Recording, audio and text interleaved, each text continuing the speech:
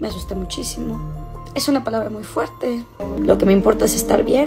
Así es, así toca a veces. Luego que se había divorciado, pero de repente, como dicen que ahora ya anda de la mano de un señor, pues ahora ya dijo que sí. En el 2020 empezaron a surgir muchísimos rumores de que Gretel Valdés y su esposo Leo Clark se estaban divorciando. La actriz aseguró que nada de eso era cierto, que ellos estaban muy enamorados, tratando de sobrepasar todos los obstáculos en su relación. Tuvieron que pasar varios meses para que por fin, a través de redes sociales, Gretel nos dijera la verdad. Ella contó que sí está divorciada de Leo, con quien se casó en Acapulco en 2018. Y es que a través de la nueva emisión del programa Ventaneando, Patti Chapoy dio a conocer que Gretel ya tiene nueva pareja. Aparentemente el corazón de la actriz ya está ocupado, porque supuestamente captaron a Gretel de la mano de un misterioso hombre. Quería decir que está separada. Pues qué bueno. de acuerdo.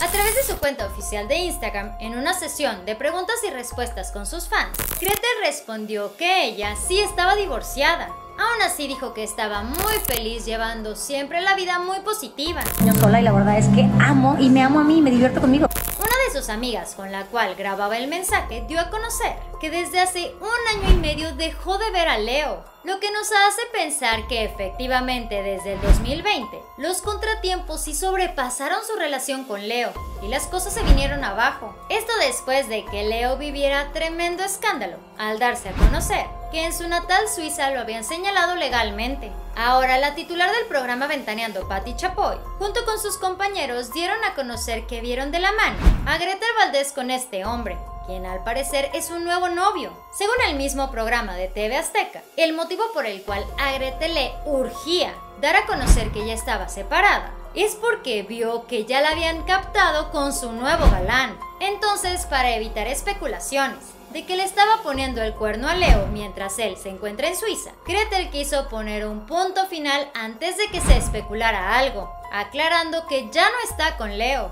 De igual manera, a través de redes sociales, Gretel nos ha mencionado que hay un hombre que siempre está ocupando su corazón, el cual definitivamente le cambió la vida. Este es nada más y nada menos que su hijo Santino Borghetti. Recordemos que Gretel y el presentador Pato Borghetti se casaron y después se divorciaron en el 2011. Fruto de esa relación fue Santino. Gretel ha confesado a través de redes sociales que Santino es su verdadero amor, el hombre de su vida. Constantemente le dedica bellos mensajes en su cuenta oficial, como el que recientemente escribió diciendo lo siguiente, 13 años siendo la mujer más feliz a tu lado, todo es diversión y aprendizaje.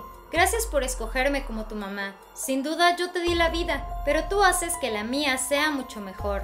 Te amo, Santino Borghetti. Hashtag todo con amor. La relación entre Gretel Valdés y Leo Clark al inicio se veía como una historia de amor, sacada de un cuento de hadas. Ellos contrajeron matrimonio el 10 de diciembre del 2018. A partir de ese momento, Leo Clark, quien era un joven empresario y modelo, cobró gran popularidad en México. Esto debido a las constantes apariciones junto a Gretel en redes sociales y a los eventos en los cuales asistía con la actriz.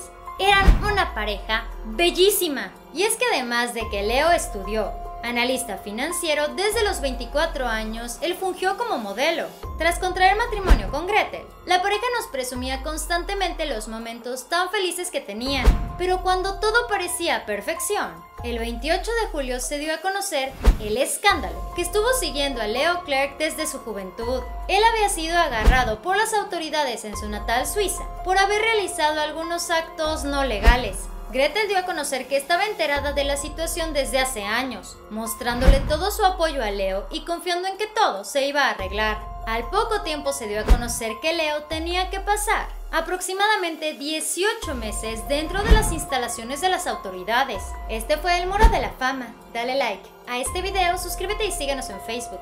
Pero antes de que te vayas, chécate este video. Estoy segura que te va a encantar. Espero que tengas un excelente día. Nos vemos muy pronto. Bye.